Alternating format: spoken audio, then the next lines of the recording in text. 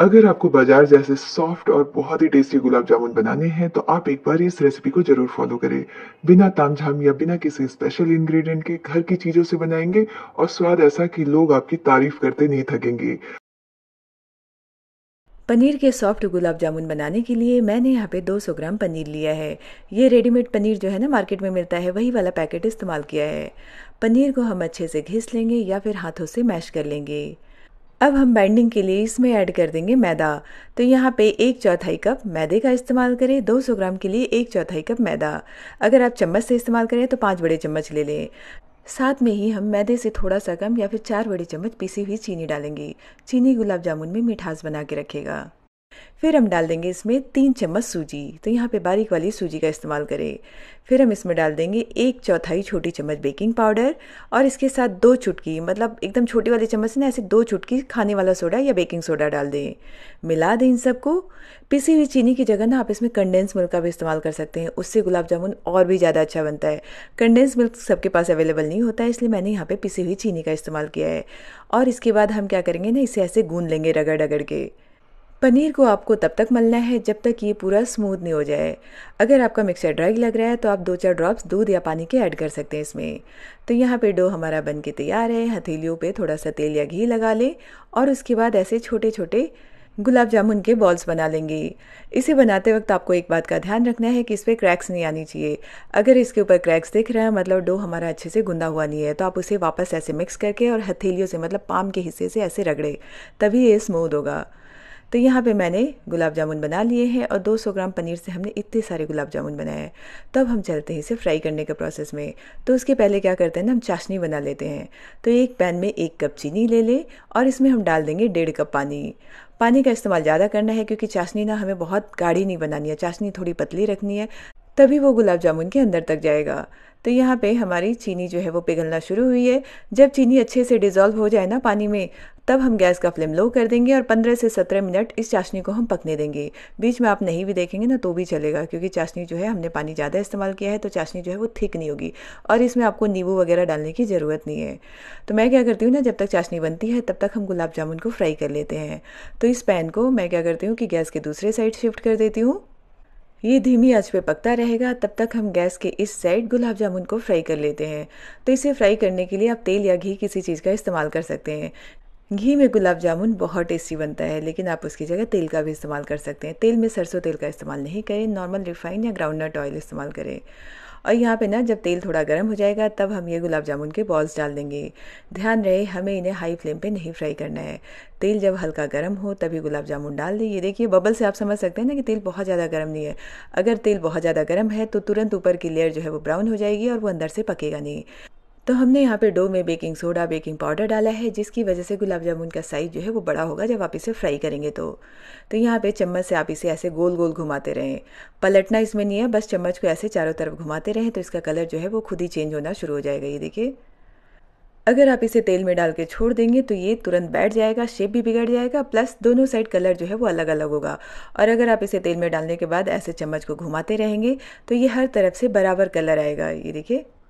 तो ये हमारा गुलाब जामुन का एक सेट जो है वो बन के तैयार है तो इसे मैं निकाल लेती हूँ। तो आप चाहिए तो इसे डायरेक्ट चाशनी में डाल दें या फिर जब पूरा पक जाए ना मतलब दोनों सेट आपका अच्छे से बन जाए, तब आप उसे डायरेक्ट चाशनी में डाल दें। तो यहाँ पर मैंने इसे निकाल लिया है, ये देख सकते हैं कलर कितना बढ़िया है। तब हम क्या करेंगे, जो बचे हुए गुलाब जामुन है वो भी डाल देंगे। तो यहाँ पे तेल का टेम्परेचर आपको बहुत ज़्यादा हाई नहीं रखना है। और गुलाब जामुन को डालने के बाद चम्मच से आप इसे ऐसे गोल गोल घुमाना है। ये देखिए ऐसे। तो बस इसी तरीके से हम सारे गुलाब जामुन को फ्राई कर लेंगे। और यहाँ पे चाशनी भी हमारी बन के तैयार है। अगर गुलाब जामुन पकने में समय लगता है तो चाशनी वाली गैस जो है वो आप बंद कर दें और जब आप गुलाब जामुन चाशनी में डालें तो चाशनी को हल्का सा गर्म कर ले। तो यहाँ पे ये देखिए इसका कलर जो है वो गोल्डन ब्राउन आना शुरू हो गया है।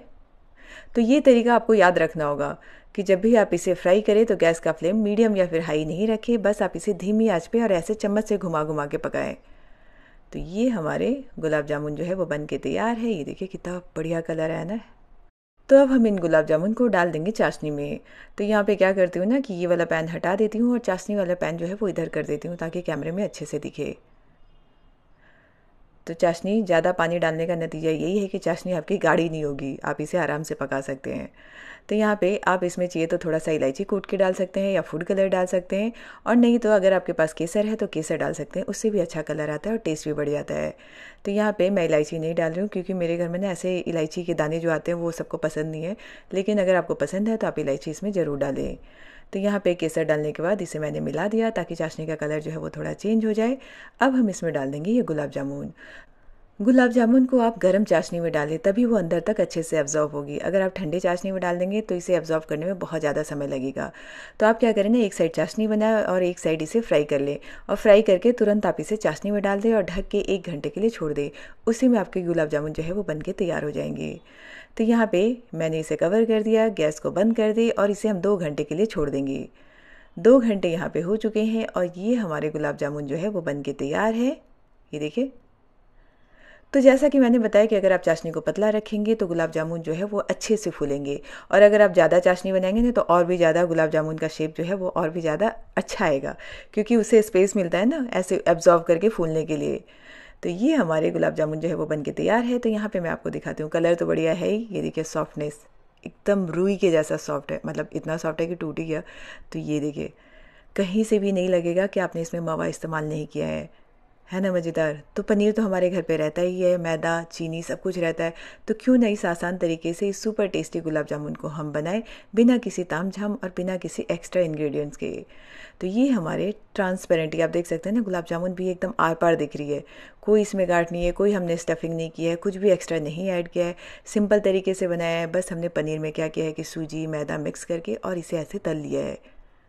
ये देख सकते हैं ना, एकदम बाज़ार जैसे गुलाब जामुन। तो ये हमारे सुपर टेस्टी गुलाब जामुन बन के तैयार है, जो कि बहुत ही सॉफ्ट है, बहुत ही अमेजिंग है। और चाशनी हमने ऐसे ही रखी है ना, और अगर चाशनी बच जाती है तो आप इसमें आटा घोल के इसका चीला भी बना सकते हैं। मैं तो वही करती हूँ, या फिर शक्करपारा बना सकते हैं। तो ये हमारे पनीर के बहुत ही सॉफ्ट और मज़ेदार गुलाब जामुन तैयार है, जो कि आप किसी त्यौहार में बनाएँ या फिर नॉर्मली भी बनाएँ। ये गुलाब जामुन आपकी फैमिली को बहुत पसंद आएगा और इस गुलाब जामुन में ख़राब होने का कोई सीन नहीं है कि फ्राई करते वक्त फट जाएगा या फिर कच्चे रह जाएँगे या गांठ रह जाएगी। हर टिप्स मैंने एकदम ऐसे ही बताया है और मैं अपने घर पर यही गुलाब जामुन बनाती हूँ। तो आप इस सुपर सॉफ्ट गुलाब जामुन की रेसिपी को ज़रूर ट्राई करें, ये गुलाब जामुन आपकी फैमिली को बहुत पसंद आएगा। और यहाँ पे ना मैं आपको कट करके भी दिखाती हूँ। ये देखिए, बहुत ही आसानी से ये चम्मच चला गया। और ये देखिए, है ना?